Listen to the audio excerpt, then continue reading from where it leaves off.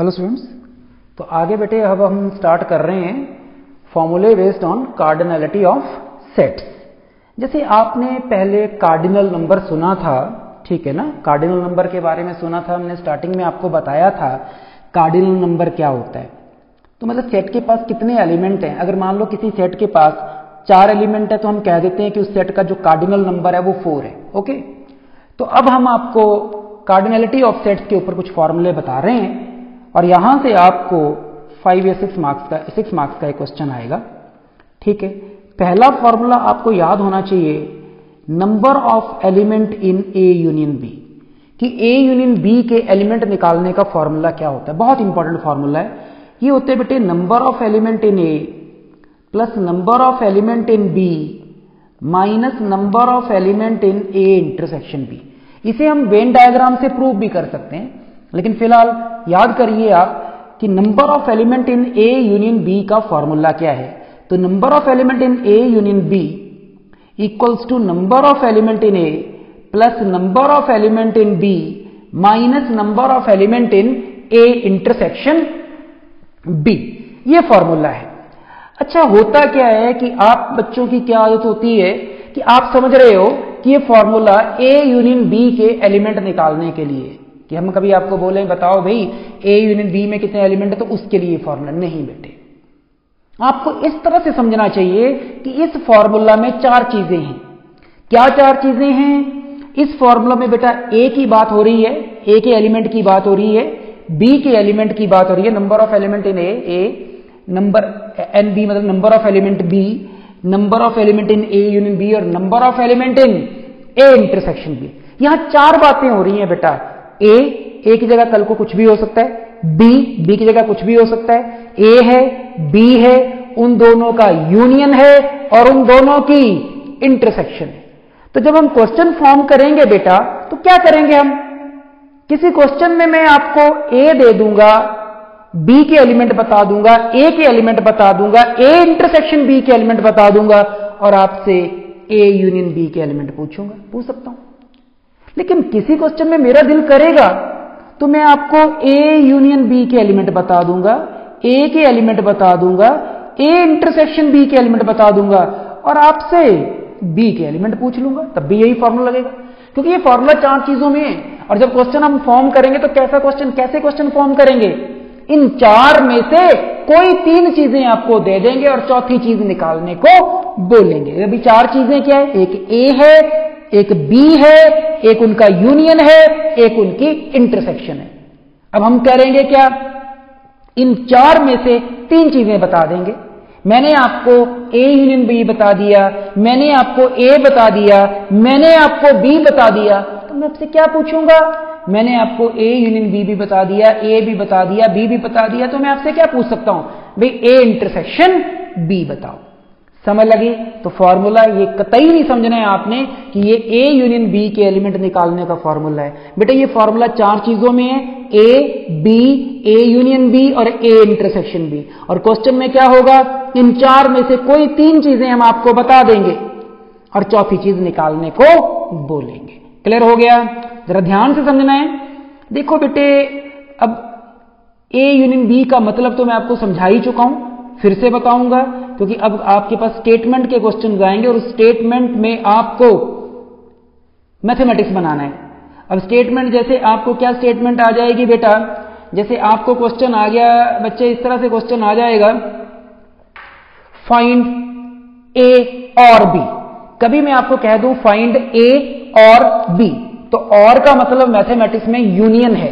अगर मैं आपको कहता हूँ फाइंड ए और बी इसका मतलब मैं आपको क्या निकालने को बोल रहा हूँ? ए यूनियन बी निकालने को बोल रहा हूँ।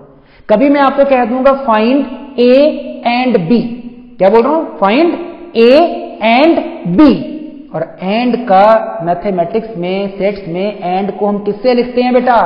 इंटरसेक्शन से लिखते हैं। तो अगर मैं आपको कहूँगा फाइंड ए एंड बी तो आपको क्या निकालना है? ए इंटरसेक्शन बी देखो, मैं फिर कह रहा हूँ ए और बी तो हमारे दिए नाम है। क्वेश्चन में ए और बी नाम रिप्लेस हो जाएँगे, जैसा क्वेश्चन होगा उसके अकॉर्डिंग वो क्वेश्चन में बात करेंगे। लेकिन अगर मैं कभी आपको कहता हूँ फाइंड ए और बी ए और बी मतलब आपको क्या निकालना है? ए यूनियन बी हम आपको कहते हैं फाइंड ए एंड बी क्या निकालना है? ए इंटरसेक्शन बी ए और बी का मतलब ए यूनियन बी होता है मैथमेटिक्स में, और ए एंड बी का मतलब ए इंटरसेक्शन बी होता है। ठीक है जी? तो ये आपको पता होना चाहिए। एक फॉर्मूला मैंने आपको बता दिया।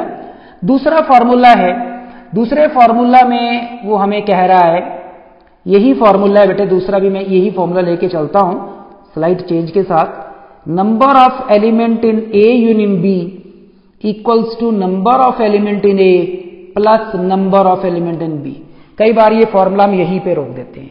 तो number of element in A union B जो है, वो होता है number of element in A plus number of element in B मैंने क्या नहीं लिखा इस फॉर्मूला में? अगर देखा जाए तो मैंने क्या नहीं लिखा? Number of element in A intersection B ने लिखा। तो number of element in A in B equal to number of element in A plus number of element in B कब? जब हम कहते हैं ए एंड बी जो है वो डिसज्वाइंट सेट्स हैं। जब ए और बी कैसे होते हैं बेटे? डिसज्वाइंट सेट्स होते हैं। ये देखो दूसरा फॉर्मूला ये लिखा number of element in A union B equal to N A plus N B कब? When A and B are disjoint जब ए और बी क्या होते हैं? डिसज्वाइन होते हैं। डिसज्वाइन का मतलब समझते हैं, जो आपस में ज्वाइन नहीं होते, जो आपस में ज्वाइन नहीं होते। और जब दो सेट आपस में ज्वाइन नहीं होते इट मीन्स वो दोनों सेट दूर दूर होते हैं। इनको बोलते हैं दोनों आपस में ज्वाइन नहीं है। तो ये दूर दूर है। मान लो ये ए है, मान लो ये बी है। और अब मैं आपको बोलूँ कि जब बेटे दो सेट डिसज्वाइन होते हैं ना तो उनकी जो इंटरसेक्शन होती है, उनकी जो इंटरसेक्शन है वो फाई होती है। इंटरसेक्शन मतलब उन दोनों के पास कोई भी एलिमेंट कॉमन नहीं होता है। उन दोनों के पास कोई भी एलिमेंट कॉमन नहीं होता। जब हम कभी आपको कह दें कि दो सेट डिसज्वाइन है, ये मैंने आपको पढ़ाया भी था कहीं disjoint sets and overlapping sets और मैंने क्या सिखाया था कि दो सेट्स डिसज्वाइंट कब होते हैं? जब उनकी इंटरसेक्शन खाली सेट आ जाए फाई आ जाए। तो उसने मुझे कहा है कि जब ए और बी डिसज्वाइन होंगे, और आपको पता है जब ए और बी डिसज्वाइन होंगे, इसका मतलब उनकी इंटरसेक्शन जो होगी, वो क्या होगी? खाली होगी फाई होगी। तो आप मुझे बताइए कि number of element in A intersection B इस केस में क्या होगा? फाई मतलब इस सेट के पास कोई भी एलिमेंट नहीं है। ठीक है तो ए इंटरसेक्शन बी के पास कोई भी एलिमेंट नहीं तो मैं पूछ रहा हूँ N A intersection B N A intersection B का मतलब कि ए इंटरसेक्शन बी के पास कितने एलिमेंट है? तो भाई बताओ, इस सेट के पास कोई एलिमेंट है? नहीं है ज़ीरो तो बेटे, जब ए और बी डिसज्वाइन होते हैं तो ए इंटरसेक्शन बी के पास एलिमेंट क्या हो जाते हैं? ज़ीरो तो number of element in A plus number of element in B में से ज़ीरो घटा दोगे। अब यहाँ से ज़ीरो घटा दोगे तो मत लिखो ना ज़ीरो इसलिए नहीं लिखते। ठीक है? वही फॉर्मूला मैंने आपको फिर से बताया है। क्लियर किया है मैंने फॉर्मूला, आपको ध्यान होना चाहिए। आपको तो जो ऊपर फॉर्मूला मैंने नंबर वन पे बताया, उसी को याद करिए। लेकिन कभी अगर हम आपको कह दें कि ए और बी डिसज्वाइन है ए और बी डिसज्वाइन है, इसका मतलब उनकी इंटरसेक्शन खाली होगी। और बेटे, जब उनकी इंटरसेक्शन खाली होगी मतलब उनके पास कुछ कॉमन नहीं होगा कॉमन एलिमेंट कोई भी नहीं होगा तो कितने एलिमेंट होंगे? नंबर ऑफ़ एलिमेंट उसमें कितने होंगे? ज़ीरो तो माइनस ज़ीरो लिखा है यहाँ पे। जो लिखा नहीं लिखा माइनस ज़ीरो कोई मतलब नहीं उस चीज़ का। बताइए, दूसरा फॉर्मूला भी क्लियर हुआ? ठीक है तो ये दूसरा फॉर्मूला पहले से ही निकाला गया है, कोई बड़ी बात नहीं है इस फॉर्मूला में। ठीक है जी तो मैं अभी पहले को स्ट्रेस दे रहा हूँ, और मैं बार बार आपको बोलूँगा कि आप ये कभी मत समझना। अमूमन बच्चे क्या समझते हैं कि ये फॉर्मूला जो नंबर वन पे आपको फॉर्मूला यहाँ डिस्प्ले कर रहा है मैक्सिमम बच्चे ये समझते हैं कि ये फॉर्मूला किसके लिए? ए यूनियन बी के लिए। नहीं, ये formula A union B A intersection B A और बी में है। इनमें से तीन, चार चीज़ें हैं यहाँ पे टोटल इनमें से तीन पता हो तो हम चौथी चीज़ निकाल सकते हैं। ठीक है? तो ये पहले दो फॉर्मूले बताए हमने। उसके बाद नेक्स्ट फॉर्मूला है बेटे number of element in A difference B अब देखो ए डिफरेंस बी की बात कब आएगी? जब कभी किसी क्वेश्चन में मैं अब आपको बताऊँ क्या बोलूँगा? Find A and not B कभी मैं आपको बोल दूँ find A and not B तो आप लिखोगे ए डिफरेंस बी मैं कह दूँ find A but not B इसका मतलब भी सेम है. ए डिफरेंस बी है. लैंग्वेज का मैथमेटिक्स बन रहा है बेटा.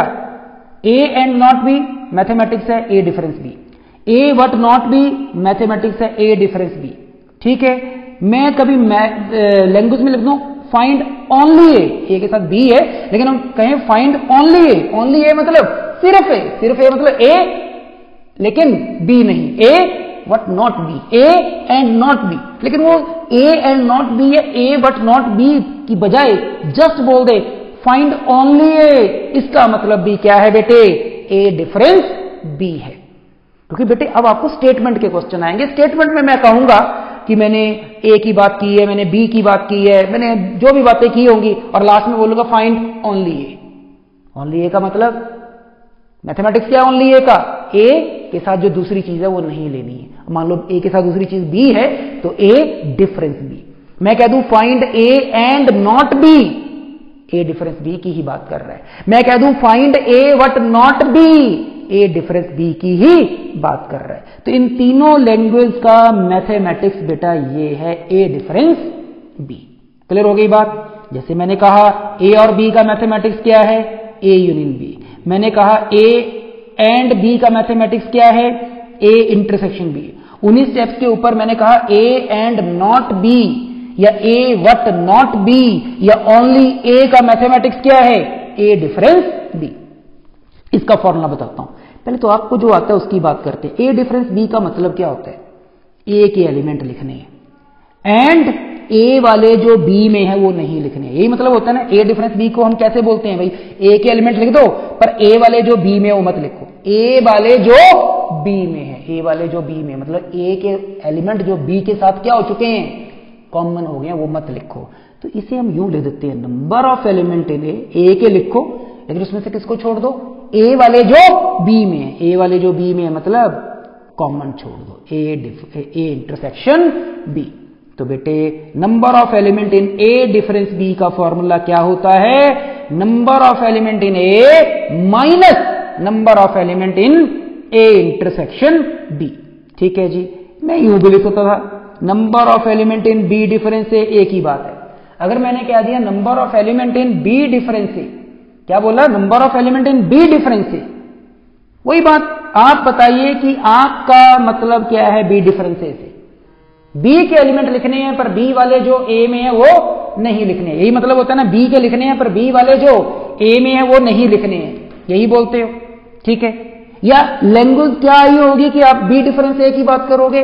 बेटा लैंग्वेज आई होगी find B but not A क्या लैंग्वेज आई होगी? Find B but not A या find B and not A या तीसरी लैंग्वेज क्या सकती है? फाइंड ओनली बी मैं बोल दू फाइंड ओनली बी मैं बोल दूँ find B but not A या मैं कह दूँ find B and not A सबका मतलब बी डिफरेंस ए है। और बी डिफरेंस ए के एलिमेंट लिखने हैं तो बताइए जी बी डिफरेंस ए का मतलब क्या होता है? बी के एलिमेंट लिखो, लेकिन बी वाले जो ए में है, उनको छोड़ दो। बी के लिखने हैं, पर बी वाले जो ए में है, वो नहीं लिखने हैं। तो number of element in B में से किने छोड़ दो? बी और ए के कॉमन ए इंटरसेक्शन बी लिख दो। भले ही आप बी इंटरसेक्शन ए लिख दो, क्योंकि ए इंटरसेक्शन बी और बी इंटरसेक्शन ए एक ही बात होती है। कॉमिटेटिव प्रॉपर्टी मैंने कहीं आपको बताई थी इंटरसेक्शन में कि ए इंटरसेक्शन बी निकालो या बी इंटरसेक्शन ए निकालो। दोनों आपको बेटा सेम रिज़ल्ट देते। क्लियर हो गई बात? तो अब तक मैंने आपको तीन फॉर्मुलों के ऊपर स्ट्रेस दी है। ठीक है जी? तो ये तीसरा और चौथा फॉर्मूला भी बता दिया। बेटे, मैंने आपको थर्ड और फोर्थ में, एक में मैंने कहा find number of element in A difference B और एक में हमने कहा find number of element in B difference A ठीक है भाई? आगे बात करते हैं। अगला फॉर्मूला हमारे पास आ रहा है। Number of element in A dash and B dash number of element in A dash and B dash ये भी अच्छी फॉर्म, ये भी एक अच्छा फॉर्मूला है कि हम क्या बात कर रहे हैं यहाँ पे A dash and B dash इसने पहले एंड से पहले इसने यूनियन की बात की है तो पहले मैं यूनियन का बता देता हूँ। यहाँ अच्छी बात यह है कि आपको यह सीखना है कि भाई ऐसा क्या होगा कि आप ये फॉर्मूला लिखोगे। ए डैश का मतलब क्या होता है? ए डैश का मतलब होता है नॉट ए मैंने कहा था कंप्लीमेंट का मतलब क्या होता है? नॉट ए ए डैश का मतलब है नॉट ए बी डैश का मतलब है नॉट बी और यूनियन का मतलब होता है और।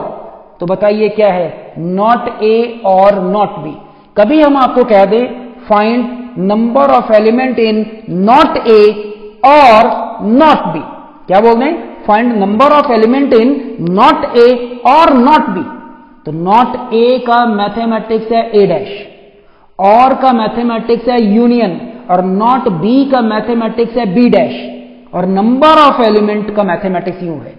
तो ये जो मैंने चीज़ लिखी है, इसको क्या पढ़ोगे आप? जिसे मैं अभी हाईलाइट कर रहा हूँ ग्रीन कलर में, इसे क्या पढ़ोगे आप? Number of element in not A और नॉट बी नॉट ए को हम ए डैश बोलते हैं कंप्लीमेंट ए का, और नॉट बी को हम बी डैश बोलते हैं। तो इसका फॉर्मूला मैं आपको बता रहा हूँ।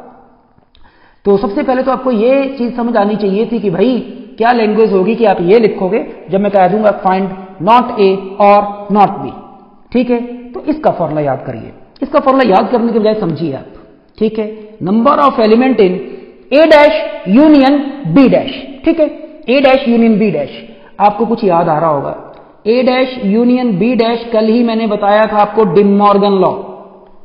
तो A dash union B dash को आप ए इंटरसेक्शन बी का डैश बोल सकते हो डिमॉर्गन लॉ कल सिखाया था। A dash union B dash किसके बराबर होता है?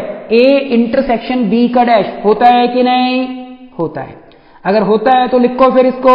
तो इसे मैं क्या लिख सकता हूँ बेटे आपके लिए? A dash union B dash को लिख सकता हूँ। ए एंड बी का dash A dash union B dash किसके बराबर होता है?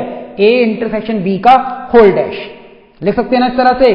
तो ये इस स्टेप को मैंने ये कैसे लिखा है? कोई पूछे तो डिमॉर्गन लॉ अगला स्टेप है बेटे आपके पास एन तो वैसे लिखा। और ए इंटरसेक्शन बी का डैश आपको दो लेक्चर पहले मैंने कहा था कि किसी भी सेट का डैश का डेफिनेशन क्या होता है? डैश मतलब कंप्लीमेंट ए का कंप्लीमेंट क्या होता है? यूनिवर्स डिफरेंस होता है ना? किसी भी सेट का कंप्लीमेंट क्या होता है? यूनिवर्स डिफरेंस दैट सेट और यहाँ किसके कंप्लीमेंट की बात हो रही है? जिसे मैं रेड कलर में हाईलाइट कर रहा हूँ, यहाँ बताओ किसके कंप्लीमेंट की बात हो रही है? ए इंटरसेक्शन के कंप्लीमेंट की बात हो रही है ना? किसका कंप्लीमेंट निकाल रहे हैं हम? ए इंटरसेक्शन बी का कंप्लीमेंट और किसी भी सेट का कंप्लीमेंट क्या होता है? यूनिवर्स डिफरेंस दैट सेट और यहाँ दैट सेट की जगह कौन है? ए इंटरसेक्शन बी समझ रहे हैं कि नहीं? फॉर्मूला मैं आपको बजाय इसके कि लास्ट रिज़ल्ट याद कराऊं, मैं समझा रहा हूँ।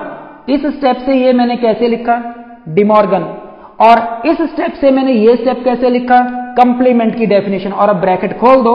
एन की मल्टीप्लाई कह लो तो number of element in universe minus N ने दोनों को मल्टीप्लाई कर दिया आपकी भाषा में तो number of element in universe minus number of element in A intersection B तो बेटे, आपका फाइनल फॉर्मूला अप्रूव हो चुका है तो अगर आपको कोई पूछे number of element in A dash union B dash किसके बराबर होता है? तो आप बोलोगे number of element in universe minus number of element in A intersection B लेकिन मैं चाहूँगा कि आप इस फॉर्मूला को याद ना करें। बिल्कुल याद ना करें, आपको अगर पेपर में सम आता है तो आप इन्हीं स्टेप्स के ऊपर चार स्टेप बना के यहाँ तक पहुँचे। ठीक है? बाकी एक चीज़ मैं बता दूँ कि ऐसा नहीं है कि मैंने ये फॉर्मूला बताया है तो इस क्वेश्चन में यही लगेगा। बहुत से तरीके होते हैं और हम हर तरीके से आपको काम करना सिखाएँगे। फ़िलहाल बड़े बेसिक फॉर्मूले जो हैं, वो मैं अभी आपको सिखा रहा हूँ। इस फॉर्मूला को कैसे किया हमने और कब ये ज़रूरत पड़ेगी, क्योंकि क्या ऐसी लैंग्वेज आएगी कि आप इसकी बात करोगे तो क्या लिखा था मैंने? A dash union B dash A dash का मतलब क्या होता है? नॉट ए बी डैश का मतलब क्या होता है? नॉट बी ठीक है? और यूनियन का मतलब होता है और इसका एक और फॉर्मूला है. Number of element in A dash intersection B dash ऐसी क्या लैंग्वेज होगी क्वेश्चन में कि आपको ये लिखना पड़ेगा? क्या होगा इसकी लैंग्वेज बनाते हैं? ए डैश का मतलब बेटे नॉट ए ठीक है? इंटरसेक्शन का मतलब क्या होता है? एंड और बी डैश का मतलब नॉट बी कई बार वो मुझे कह देगा find not A and not B उसने आपको ए दिया होगा, उसने आपको बी दिया होगा, उसने यूनियन दिया होगा इंटरसेक्शन दिया होगा, कुछ भी दिया होगा। लेकिन बोलेगा, यार, क्या पता करो? Not A and not B पता करो. अब आपको पता है नॉट ए का मतलब क्या होता है? मैथमेटिक्स में ए डैश एंड का मतलब क्या होता है? इंटरसेक्शन और नॉट बी का मतलब क्या होता है? बी डैश लिखा, भाई, मैंने ये सब कुछ अरे, भाई, लिखी ये चीज़। और अब इसे फॉर्मूला याद करते हैं। याद क्यों करना है? समझते हैं हम लोग? वही, पहले आप डिमॉर्गन लगा दो। कल ही बताया था A dash intersection B dash का डिमॉर्गन क्या होगा? ए यूनियन बी का होल डैश क्यों? बताया था डिमॉर्गन लॉ आपको? A dash intersection B dash को आप ए यूनियन बी का होल डैश बोल सकते हैं। तो ये डिमॉर्गन लॉ से लिखा है। और मैं बता रहा हूँ बार बार आपको, और भी तरीके हैं। ठीक है? अगर ये कंप्लीमेंट का तरीका यूज़ ना करना हो तो हमारे पास और भी वे हैं क्वेश्चन में हम वो भी बताएँगे। पर फ़िलहाल बेसिक सीखो। अगला step number of element in A union B का डैश डैश मतलब कंप्लीमेंट पहले कंप्लीमेंट की डेफिनेशन लगाओ। और किसी भी सेट का कंप्लीमेंट क्या होता है? Universe that universe difference that set और यहाँ किसके कंप्लीमेंट की बात हो रही है? ए यूनियन बी के कंप्लीमेंट की बात हो रही है। तो क्या लिखूँगा मैं?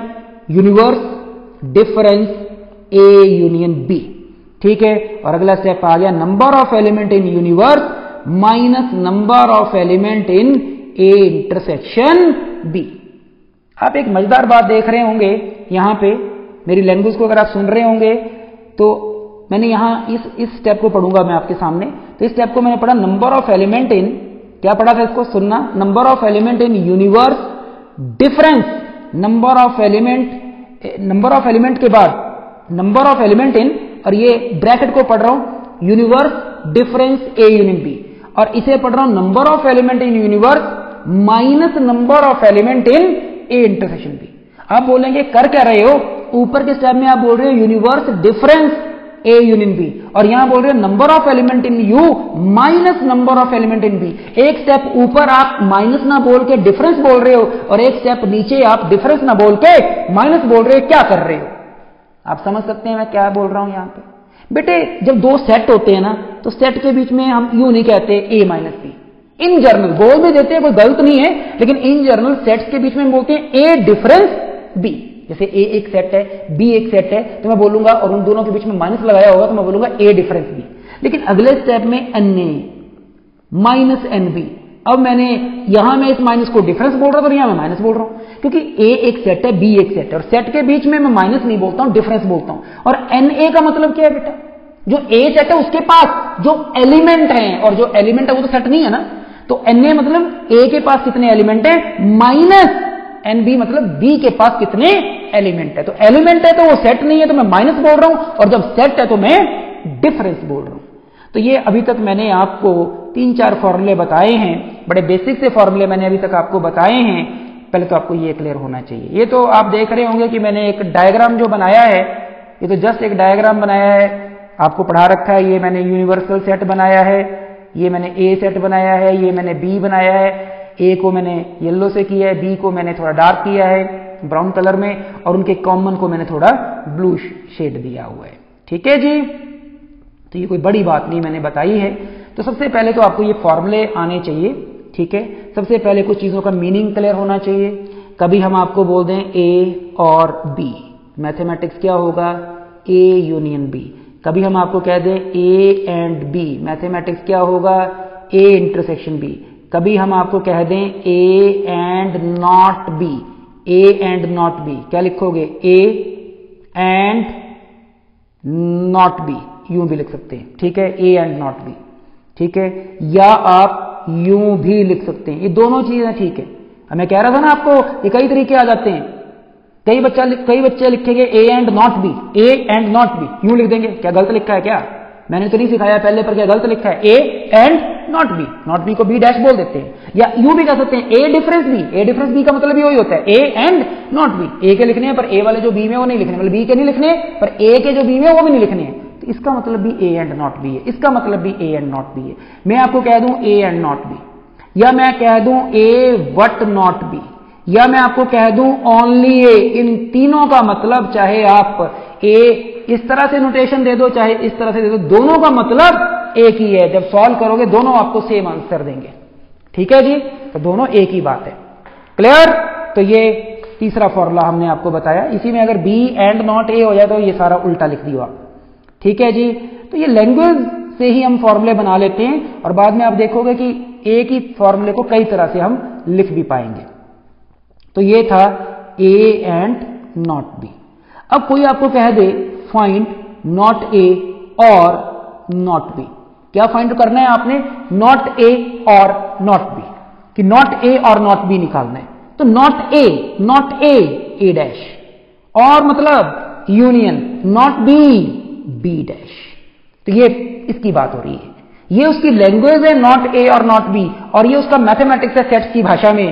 नॉट ए मैंने कल बताया था आपको कि कंप्लीमेंट का मतलब ही क्या होता है। किसी भी सेट के कंप्लीमेंट का मतलब क्या होता है? Not not A A dash लिख दिया। और यूनियन लिख दिया। नॉट बी बी डैश लिख दिया। वो आपको कह दे not A and not B अब मैंने एंड लिखा है। नॉट ए का मतलब बेटे ए डैश एंड का मतलब इंटरसेक्शन नॉट बी का मतलब बी डैश तो ये चीज़ें सबसे पहले आपको पता होनी चाहिए। और भी बहुत सी लैंग्वेज आने वाली हैं, पर फ़िलहाल ये जो पाँच लैंग्वेज हैं, ये तो कम से कम क्लियर हो आपको। कभी हम कह दें ए और B A unit B A and B मतलब A intersection B A and not B या ए बट नॉट बी या ओनली ए इन सब का मतलब है ए डिफरेंस बी या A intersection B complement not A और नॉट बी नॉट ए का मतलब A dash union B dash not A and not B A dash intersection B dash ये आपको मालूम होना चाहिए। कम से कम आपको क्वेश्चन स्टार्ट करने से पहले ये चीज़ तो पता होनी चाहिए। बेटे यूनियन को कई बार हम यू भी लिख देते हैं। कभी हम कह देते हैं एट लीस्ट ये एट लीस्ट लेटर शायद कल भी कहीं यूज़ किया था मैंने। एट लीस्ट वन ठीक है?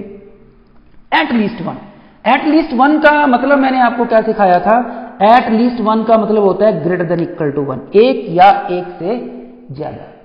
तो बेटे, कभी हम कह दें कि किसी सेट के पास चलो, ये क्वेश्चन के बीच में मैं बात करूँगा, ऐसे आपको अभी यहाँ समझाऊँगा, थोड़ा मुश्किल लगेगा, लेकिन ये मैं आपको एट लीस्ट का मीनिंग बताऊँगा कि एट लीस्ट भी जो है यूनियन में ही आपका कन्वर्ट करेगा। चलिए, इसे क्वेश्चन में मैं डिस्कस करूँगा। तो आपको ये जो मैंने चार पाँच फॉर्मुले बताए हैं, मेरे ख्याल से क्लियर हो गए होंगे।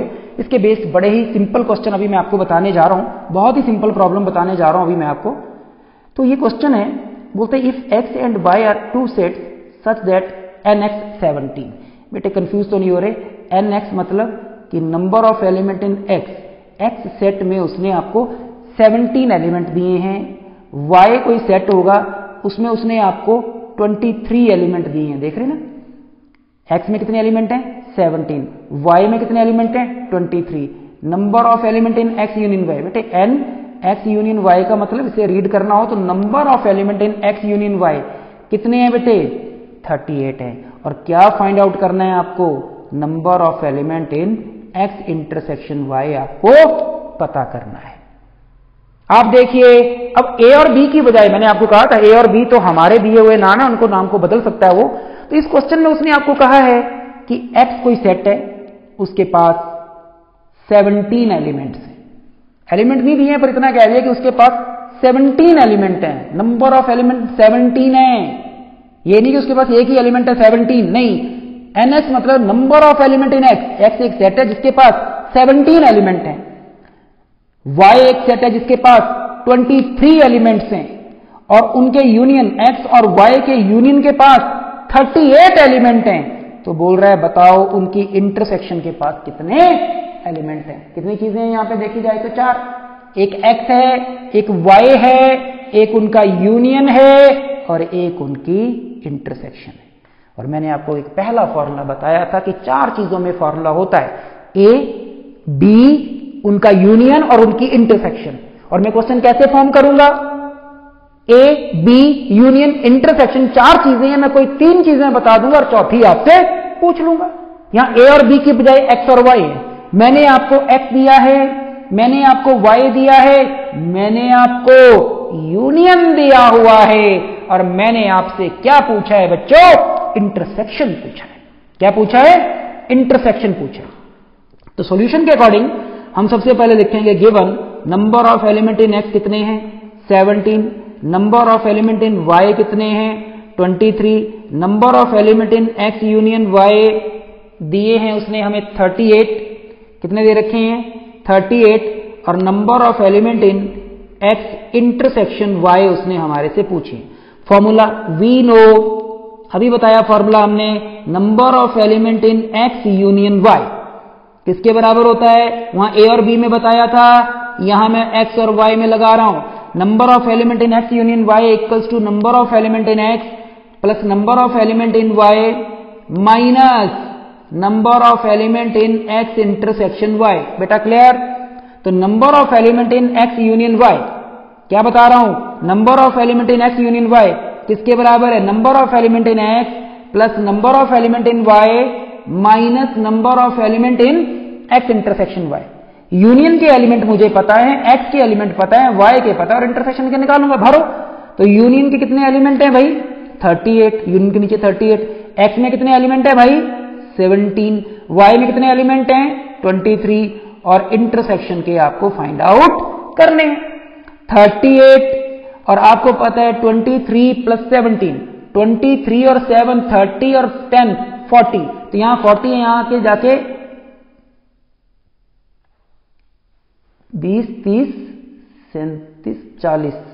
एक मिनट, यूनियन में एलिमेंट कितने हैं? Thirty eight, twenty three, seven. Okay, intersection के निकालना। ठीक है। तो ये 40 हुआ ना? 38 eight minus forty equals to minus number of element in x intersection by. 38 में से 40 गया बेटे, minus two equal to minus number of element in x intersection y दोनों साइड से माइनस काटा तो number of element in x intersection y कितने आगे बेटा? टू आगे। तो एक्स इंटरसेक्शन वाई में कितने एलिमेंट आ गए बेटे? टू एलिमेंट आ गए क्लियर है भाई? तो क्या था ये क्वेश्चन ये फॉर्मूला यूनियन का ही था? मैंने यूनियन वाला ही फॉर्मूला लगाया, लेकिन मैंने यूनियन दे दिया एक्स दे दिया वाई दे दिया एक्स यूनियन वाई दे दिया, और आपसे एक्स इंटरसेक्शन पूछ लिया। एक्स इंटरसेक्शन वाई पूछ लिया। ठीक है? तो ये नहीं कह सकते कि यूनियन का फॉर्मूला है। अरे ये चार चीज़ों में फॉर्मूला है। चार में से तीन वो बता देगा, कोई भी चौथी चीज़ निकालने को बोलेगा तो हम आपके सामने निकाल के दिखा देंगे। समझ लगेगी क्वेश्चन की? क्लियर है ये सम अगला क्वेश्चन है, अगले क्वेश्चन को भी देखते हैं। इजी प्रॉब्लम होती है बिल्कुल ये। In a group of 400 people 400 लोगों का एक ग्रुप है। कितने लोग हैं ये ग्रुप में? 400 पीपल है। फिर कहता है 250 कैन स्पीक हिंदी हिंदी का नाम मैंने एच रख दिया। बोलता है 250 400 लोगों का एक ग्रुप है। उसमें से जो हमने सर्वे किया है तो हमें पता लगा है कि जो 250 लोग जो हैं, वो हिंदी बोल सकते हैं। 200 कैन स्पीक इंग्लिश। और 200 लोग जो हैं 200 पर्सन जो हैं, वो इंग्लिश बोल सकते हैं। हमें कह रहे हैं how many people can speak speak के आगे समझना। Both Hindi and English both Hindi and English Hindi का नाम मैंने एच रखा है। एंड क्या होता है बेटे? इंटरसेक्शन और इंग्लिश का नाम मैंने ई e रखा है। तो बेटे 400 लोगों के ऊपर हमने सर्वे किया। मतलब एक ग्रुप में 400 लोग हैं। उसमें से 250 परसेंट जो है वो हिंदी बोल सकते हैं। 200 परसेंट जो है वो इंग्लिश बोल सकते हैं। और हमें वो लोग बताने हैं जो हिंदी एंड इंग्लिश बोल सकते हैं। Both Hindi and English Hindi का नाम अगर मैं एच रख दू इंग्लिश का नाम मैं ई रख दू, और एंड का मतलब इंटरसेक्शन होता है तो हमें क्या निकालना है? एच इंटरसेक्शन ई निकालना है। समझे? अब जरा इस क्वेश्चन में जो इंपॉर्टेंट है वो सुनो। देखो बेटे, इस क्वेश्चन की अगर बात करें तो इस क्वेश्चन में मैंने आपको मैंने पहले कह दिया कि हिंदी वाले लोगों को हम एच बोल देंगे। जो हिंदी बोलते हैं उनका नाम एच रख देंगे, जो इंग्लिश बोलते हैं उनका नाम ई रख देंगे। तो मैंने हिंदी वाले लोग बताए हैं, दिया उसने 250 मैंने इंग्लिश वाले लोग बताए हैं, दिया उसने कितना बेटे? 200 ठीक है इंग्लिश वाले कितने बताए हैं? 200 और हमने आपसे कौन से पूछे हैं बेटे? बताइए, हमने कौन से पूछे हैं आपसे? हिंदी एंड इंग्लिश हमने आपसे पूछा हुआ है। हिंदी दिया है इंग्लिश दिया है, और हिंदी एंड इंग्लिश का इंटरसेक्शन हमने आपसे पूछा है। लेकिन अगर आप कोई कोई पूछे कि आपको जो फॉर्मूला होता है वो कितनों में होता है? चार चीज़ों में होता है। एच दिया है ई e दिया है इंटरसेक्शन निकालनी है। तो काश उसने आपको क्या बताया होता? एच यूनियन ई दिया होता तो क्वेश्चन हो जाता। लेकिन उसने डायरेक्ट में आपको एच यूनियन ई नहीं दिया इस क्वेश्चन में। लेकिन उसने एक बात बोली है कि 400 जो लोग हैं ना, ध्यान सुनना क्वेश्चन को 400 लोगों को जब हमने सर्वे किया तो बेटे हम ये मान के चलेंगे कि वो 400 के 400 लोग जो हैं, वो कोई ना कोई भाषा तो जानते ही होंगे, चाहे हिंदी, चाहे इंग्लिश, चाहे दोनों। तो बेटा, जो टोटल होता है ना, जो सर्वे होता है, आपको मैं इंपॉर्टेंट बात सिखा रहा हूँ यहाँ पे कि जो सर्वे दिया होता है हमें, जो टोटल सर्वे होता है, जैसे 400 के ऊपर बात हो रही है तो उस सर्वे को या तो हम यूनियन लेते हैं। क्या लेते हैं? यूनियन ये कई क्वेश्चन में मैं यूनियन नहीं लेके उसे यूनिवर्स लूँगा। कि जो टोटल सर्वे होगा, आप देखना, उसे अमूमन हम लोग यूनियन लेंगे। और कुछ क्वेश्चन ऐसे भी आएँगे, जब मैं टोटल सर्वे को यूनियन ना लेके क्या लूँगा? यूनिवर्सल सेट मानूँगा। वो कब मानूँगा? कैसे मानूँगा? वो मेरी चिंता है। आपकी चिंता नहीं है। आपकी चिंता एक ही है कि जो सर्वे है, उसे क्या माना जाता है। तो बताइए सिंपल भाषा में मैं आपको बोलूँ, मैंने 400 लोगों के ऊपर सर्वे किया। बताइए, क्या होगा? आप बोलेंगे, सर जी, या तो ये यूनियन होगा या ये क्या होगा? यूनिवर्स होगा। आपकी चिंता ये है कि आपको ये पता होना चाहिए कि सर्वे को हम क्या मानते हैं। या तो यूनियन मानते हैं, या यूनिवर्स मानते हैं। मैं अमूमन यूनियन मानूँगा और जिस क्वेश्चन में मैं यूनियन की बजाय यूनिवर्स मानूँगा, वो मेरी चिंता है कि मैं कैसे समझाऊँगा। चलिए तो आपने इस क्वेश्चन में 400 लोगों पे सर्वे किया तो मैंने 400 को क्या मान लिया? यूनियन 400 को मैंने, किसका यूनियन मानना यहाँ किसका क्वेश्चन हो रहा है? हिंदी इंग्लिश का क्वेश्चन हो रहा है। तो बेटे, मैंने 400 को एच यूनियन ई माना। इसका मतलब समझे कि क्या हुआ? इसका मतलब यह है कि बच्चों, मैं ये मान के चल रहा हूँ इस क्वेश्चन में कि 400 का 400 परसेंट जो है, वो कोई ना कोई भाषा तो जानता है। एच यूनियन ई का मतलब समझाना जरा मुझे आप। एच यूनियन ई का मतलब क्या होगा? एच वाले भी ले लो ई e वाले भी ले लो, और जो दोनों में वो भी ले लो। मतलब एच मतलब जो हिंदी जानते हैं वो भी उठा लिए, जो इंग्लिश जानते हैं वो भी उठा लिए, और जो दोनों जानते हैं वो भी उठा लिए। जो दोनों में है, उसको भी उठा लिया। इसका मतलब सिंपल भाषा में यह हुआ कि मैं मान के चल रहा हूँ कि जो 400 परसेंट जिसके ऊपर सर्वे किया है, वो कोई ना कोई भाषा तो जानता है। चाहे हिंदी जानता है, चाहे इंग्लिश जानता है, चाहे दोनों जानता है। तो ये मान के चल रहा हूँ कि जो सर्वे है, वो मतलब सर्वे में जो लोग हैं 400 के 400 जो लोग हैं, वो कोई ना कोई भाषा अवश्य जानते हैं। क्योंकि इसने यहाँ मेंशन ही कुछ नहीं किया जब कुछ मेंशन नहीं किया होगा तो हम मान के चलेंगे कि भाई, सर्वे को मान के चलेंगे कि सर्वे में मतलब जैसे यहाँ हिंदी जानते हैं, इंग्लिश जानते हैं, दोनों वाले बताओ, और सर्वे 400 पे हुआ है तो सर्वे को मैंने क्या मान लिया कि भाई 400 का 400 परसेंट कोई ना कोई भाषा तो जानता है। अब मान लीजिए मैंने एक लाइन यहाँ लिख दी होती कि भाई सर्वे मैंने 400 लोगों पे किया है उसमें से 250 लोग हिंदी जानते हैं 200 लोग इंग्लिश जानते हैं और 10 लोग ऐसे हैं जो कोई भी भाषा नहीं जानते। दस लोग, मैंने कहा होता तो कि दस लोग ऐसे हैं जो कोई भी भाषा नहीं जानते हैं। बेटे, जब मैं आपको यह कह रहा हूँ कि दस लोग ऐसे हैं जो कोई भी भाषा नहीं जानते, इसका मतलब? इसका मतलब क्या आप 400 को एच यूनियन ई लिख सकते थे? फिर आप 400 को एच यूनियन ई नहीं बोल सकते थे। क्यों? क्योंकि एच यूनियन ई का मतलब क्या है? अगर मैं एच यूनियन ई को 400 बोल रहा हूँ, इसका मतलब क्या है?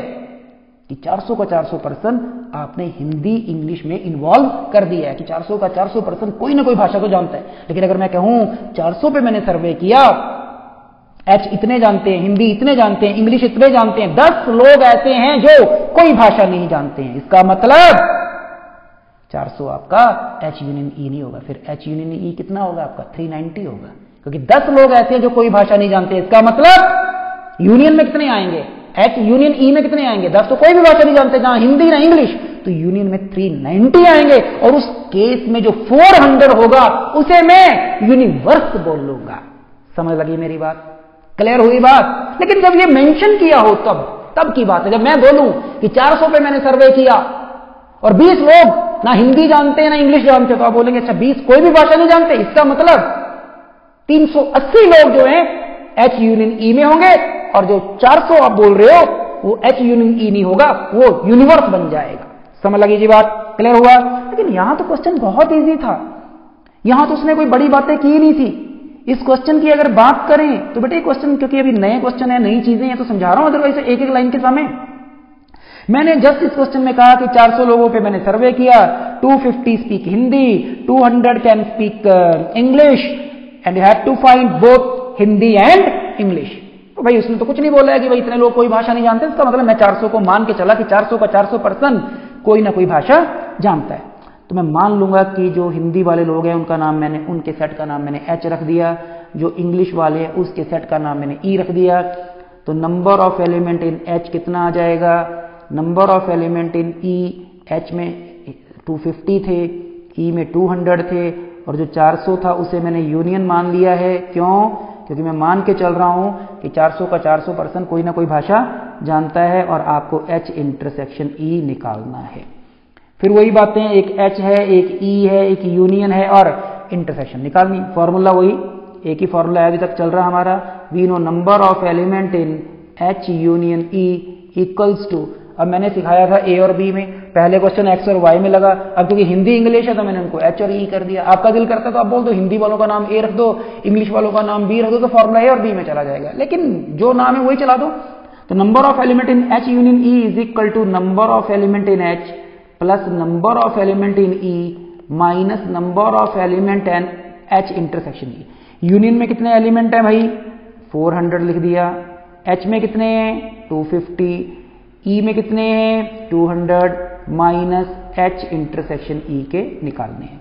और 200 और 250 और 200 450 तो 4 में से 450 गया तो minus fifty is equal to minus number of element in h intersection e minus minus cut किया तो number of element in h intersection e कितना आ गया? 50 तो बेटे 50 लोग ऐसे हैं उस ग्रुप में जो दोनों भाषा जानते हैं। हिंदी भी जानते हैं एंड इंग्लिश भी जानते हैं। तो ये देख लीजिए 50 आपका क्या आया हुआ है? आंसर अगर आपको पेपर में करना है, वैसे मैंने आपको करके दिखाया। बिल्कुल जैसे मैंने करके दिखाया, ऐसे चलता है। अदरवाइज़ आपने लिखना है। तो number of people who speak Hindi जिसको एन एच बोला 250 number of people who speak English n e two total number of people total number of people को मैंने यूनियन ले दिया 400 मीनिंग समझाया मैंने, हर क्वेश्चन में मैं समझाऊँगा। यही एक इंपॉर्टेंट चीज़ है कि जो टोटल सर्वे होता है, उसे किसी क्वेश्चन में हम यूनियन लेंगे और किसी क्वेश्चन में हम यूनिवर्स लेंगे। थोड़ा सा इस क्वेश्चन में बताया है नेक्स्ट में भी बताऊँगा। तो number of people who speak who can speak both English and Hindi मतलब इंग्लिश एंड हिंदी मतलब एच इंटरसेक्शन ई तो ये आपकी चीज़ें, चार लाइनें तो आपकी गिवन होती हैं, ठीक है? फिर फॉर्मूला लगा दिया we know number of element in h union e equal to number of element in h plus number of element in e minus number of element in h intersection e और बेटे ये फिर values भरी हैं और यहाँ से H intersection ई हमने निकाला है। तो हमने ये बता दिया कि 50 पीपल ऐसे हैं जो बोथ हिंदी एंड इंग्लिश पढ़ सकते हैं। हिंदी एंड इंग्लिश और एंड का मतलब तो आपको क्लियर हो चुका है। क्लियर हुआ ये भी सम हमें। नेक्स्ट क्वेश्चन है। नेक्स्ट क्वेश्चन में हम आपको क्या बोल रहे हैं? बोलते हैं in a group of 70 people 70 people 70 लोगों का एक ग्रुप है। उसमें से कहता है 37 लाइक कॉफ़ी उसमें से 37 लोग जो हैं, वो कॉफ़ी पीना पसंद करते हैं। 52 लाइक टी और 52 परसेंट जो हैं, वो चाय पीना पसंद करते हैं। आगे सुनना। And each person like at least one of the two drink important line है ये। ये इंपॉर्टेंट लाइन दी है, ठीक है? और आगे how many people like both coffee and tea चलिए, जो दी है, सबसे पहले 70 लोगों पे मैंने सर्वे किया। 70 लोगों पे मैंने सर्वे किया। और जो सर्वे होता है, आप बताइए सर्वे क्या होता है? या तो बेटे, जो क्वेश्चन है क्वेश्चन में जो चीज़ें हैं, और इस क्वेश्चन में क्या चीज़ें हैं, पहले तो बताओ। Thirty seven like coffee fifty two like tea coffee वालों का नाम मैं सी रख देता हूँ और टी वालों का नाम, जो चाय पीते हैं, उनका नाम मैं टी ही रख देता हूँ। ठीक है? तो सर्वे क्या होता है? पहले मुझे यह बताओ। सर्वे क्या होता है? सर्वे क्या होगा? या तो कॉफ़ी यूनियन टी होगा। कॉफ़ी यूनियन टी होगा। सी यूनियन टी होगा। सॉरी क्लियर है भाई? सर्वे या तो सी और टी का यूनियन होगा या सर्वे जो है वो यूनिवर्स होगा। अभी मुझे कुछ नहीं पता। किसी ने मुझे बोला, भाई सेवेंटी लोगों पे मैंने सर्वे किया। बताओ, उसमें से 37 लोग कॉफ़ी पीते हैं 52 लोग जो हैं वो चाय पीते हैं। बताओ भाई, ये 70 क्या है? मैं बोलूँगा, अभी मुझे कुछ नहीं पता। अभी कुछ नहीं कह सकता। अभी सर्वे है। हाँ इतना मुझे पता है, दो चीज़ों में से एक चीज़ होगी। या तो सर्वे को आप क्या लोगे? कॉफ़ी यूनियन टी लोगे? सी यूनियन टी लोगे? या इसे यूनिवर्स में लेंगे?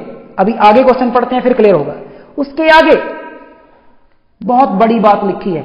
And each person each person मतलब जो भी लोग हैं लाइक ईच पर्सन कितने लोगों पे, कितने पर्सन पे आपने सर्वे किया? सेवेंटी लोगों पे सर्वे किया ना? और बोलता है each person like at least one of the two drink और बोलता है, हर पर्सन सब सेवेंटी लोगों पे आपने सर्वे किया, और वो खुद कह रहा है कि हर person at least like at least one of the two drink कि हर पर्सन ये जो दो ड्रिंक हैं, उनमें से कम से कम एक ड्रिंक तो पसंद करता है। मतलब 70 लोगों पे आपने सर्वे किया और आप खुद कह रहे हो कि हर पर्सन हर पर्सन मतलब 70 के 70 पर्सन जो हैं at least one of the two drink पसंद करते हैं। At least one at least one मतलब एक या एक से ज़्यादा। और एक से ज़्यादा यहाँ कोई पचास तो है नहीं, दो ही ड्रिंक है, एक कॉफ़ी और एक टी है, चाय है।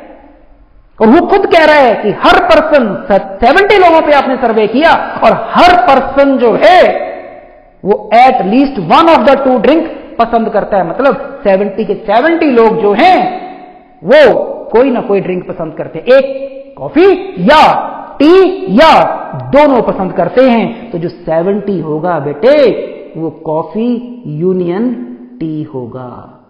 समझ लगी बात? और ये नहीं भी लिखी होती लाइन, मान लो।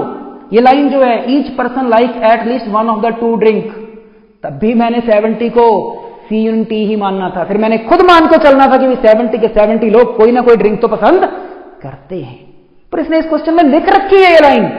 खुद कह रहा है कि सेवेंटी लोगों पे सर्वे किया और हर person at least one of the drink पसंद करता है। तो मतलब वो खुद कह रहा है कि हर पर्सन कोई ना कोई ड्रिंक तो पसंद करता है। इसका मतलब सेवेंटी के सेवेंटी लोग जो हैं या तो कॉफ़ी पीते हैं, या चाय पीते हैं, या दोनों पीते हैं। और इसी क्वेश्चन में मैंने कहीं कहा होता कि 70 लोगों पे मैंने सर्वे किया 37 कॉफ़ी पीते हैं 52 चाय पीते हैं 10 लोग कोई भी ड्रिंक नहीं पीते तो फिर क्या मैं 70 को सी एन टी बोल सकता था? 70 को सी एन टी बोलने का मतलब 70 के 70 लोग कोई ना कोई ड्रिंक तो पीते हैं। लेकिन मैं कह दूँ 10 लोग कोई भी ड्रिंक नहीं पीते हैं इनमें से। तो फिर आपका सी एन टी कितना होता? सिक्सटी होता। तो सेवेंटी को उस केस में आप यूनिवर्सल बोलते। तो हम मेंशन करें, तब होता है। अदरवाइज़ सर्वे को आप यूनियन लेते हैं। पिछले में तो उसने कुछ नहीं लिखा था। पिछले में उसने कहा भाई 400 लोगों पे सर्वे किया, इतने हिंदी बोलते हैं, इतने इंग्लिश बोलते हैं। तो मैं मान के चला भाई, कि 400 का 400 परसेंट, कोई ना कोई भाषा तो बोलता है। और यहाँ उसने 70 पे सर्वे किया और कहता, खुद कहा उसने कि 70 के 70 परसेंट कोई ना कोई ड्रिंक पसंद करते तो कभी वो लिख देता है, कभी नहीं लिखता है। तो हम सर्वे को अमूमन मैं कह रहा हूँ, यूनियन लेते हैं और कब आपको यूनिवर्सल मानना है, वो क्वेश्चन बताएगा। जब मैं कह दूँगा, भाई, सर्वे इतने पे किया, लेकिन इतने कुछ भी नहीं करते तब वो फिर यूनिवर्स में जाएगा। ठीक है? तो सी यूनिटी आपको 70 मिल गया। सी में कितने एलिमेंट है भाई? कॉफ़ी कितने पसंद करते हैं? 37 टी कितने पसंद करते हैं? 52 और आपको कौन से बताने हैं जो दोनों पसंद करते हैं? सी एंड टी ये आपका क्वेश्चन मार्क है। तो बेटे सी यूनियन टी आपको पता है सी आपको पता है टी आपको पता है, और इंटरसेक्शन निकालनी। तो क्या मुश्किल सम होगा मुझे बताइए? ठीक है, इन क्वेश्चन में समझाने में वक्त लग रहा है अदरवाइज़ तो कुछ भी नहीं है। तो देखिए लेट उसने कहा c denote the set of people who like coffee t denote the set of people who like tea उसने कहा कि सी वो लोग हैं जो कॉफ़ी पसंद करते हैं टी वो लोग हैं जो चाय पसंद करते हैं सेट उनका। तो number of people who like coffee n c seventy दिया है। Number of people who like tea n t fifty two दिया है।